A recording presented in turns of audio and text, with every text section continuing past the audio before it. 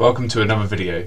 Today we're going to be taking a look at the Reolink doorbell and more specifically how we can bring two-way audio functionality within our Home Assistant dashboard using the latest version of the Frigate add-on.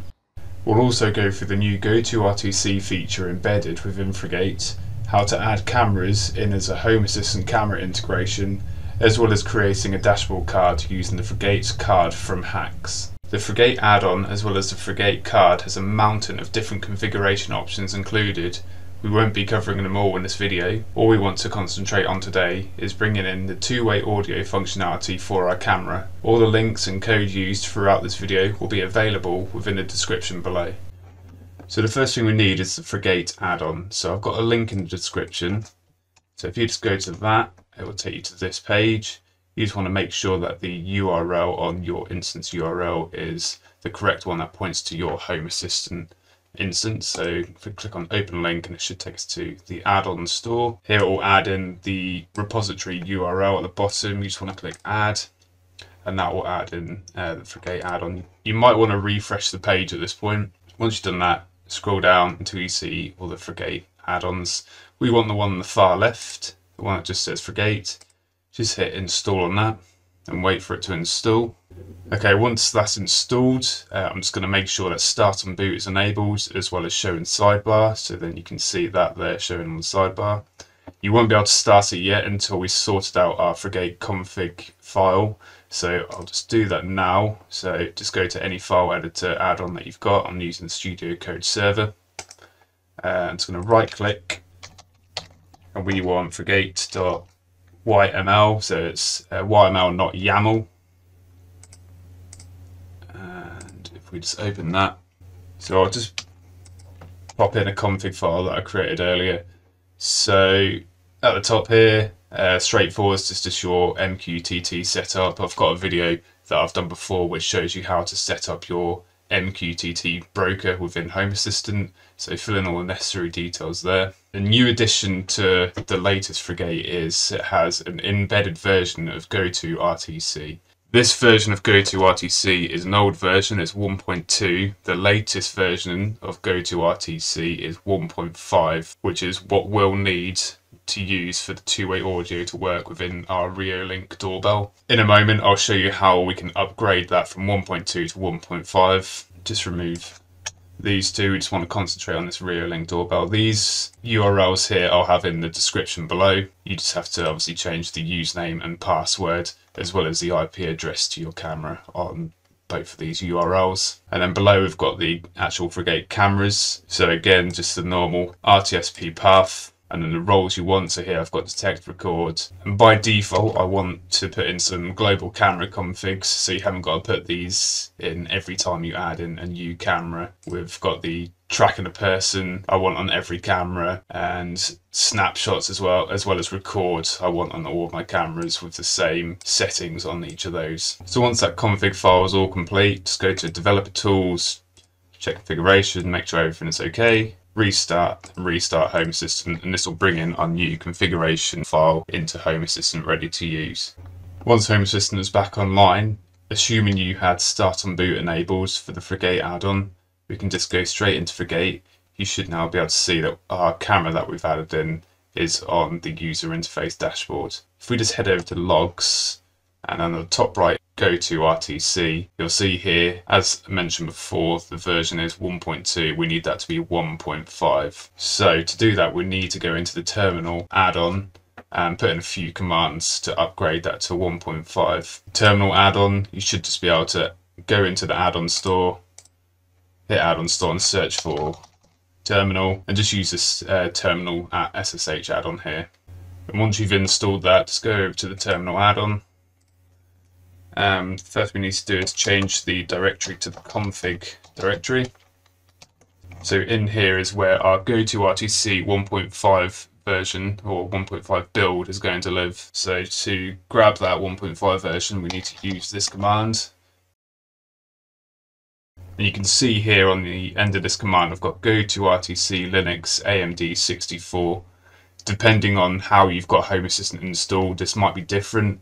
I'll have all the different variants listed in the description below. So whether you're using a Raspberry Pi or a server, etc., this may be different. But if we hit enter on that, that's now grabbed the latest version of Go2RTC and put it in the config directory. And we can check that with the ls command. And we can see here Go2RTC Linux AMD 64 is in there. We just need to change the name of that to just Go2RTC. To do that, we use this command. And if we go back and check the files again, you should see that the name has now changed to just Go2RTC. The last thing we need to do is change the uh, execute permissions. So to do that, use this command.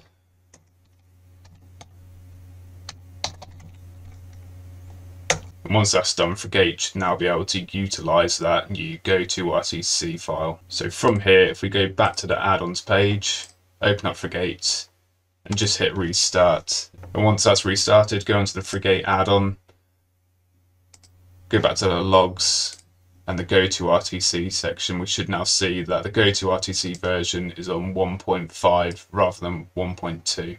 So if we go to the cameras page on Frigate, open up this camera, give it a second to load, and we should be able to see that the live stream works and the audio works as well. So where we go from here is we want to add this Frigate camera onto our dashboard with two-way audio enabled as well.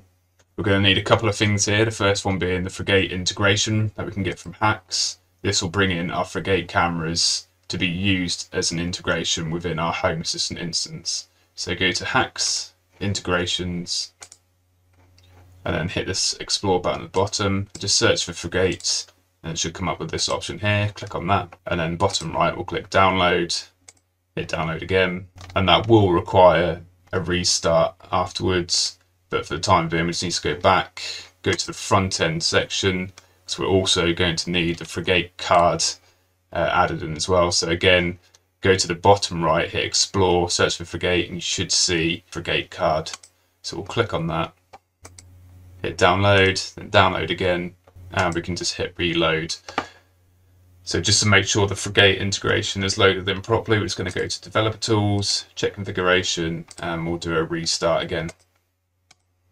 Once Home Assistant is back online, we go to Settings and Devices and Services, which will be all our integrations. On the bottom right, hit Add Integration. Search for Frigate. Click on that. It should auto-populate with this link here, and we can click Submit. And this will now have added in our Frigate cameras to be usable within Home Assistant. So we can click Finish, and if we click on here we can see our Reolink camera is loaded in. So we can now use this on our dashboard along with the Frigate cards that we just got from HACS. So from here we can go to one of our dashboards and add in the new Frigate card. I've already created one before so all I'm going to do is copy and paste the YAML in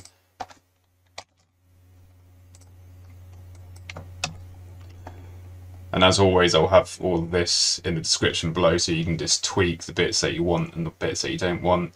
All I want to cover for now is the microphone button, which you can find within the menu section of the Frigate cards. If you go down to the bottom, find button, microphone, and we'll just need to toggle that button on.